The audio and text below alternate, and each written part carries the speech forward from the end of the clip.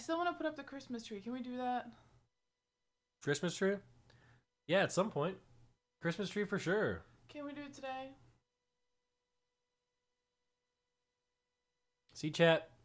See that face right there? That's the face. When you get a girlfriend, you have to realize it's a lie. She's not actually sad. She's just trying to play to your emotions to get what she wants. So the correct answer to her question is no, bitch.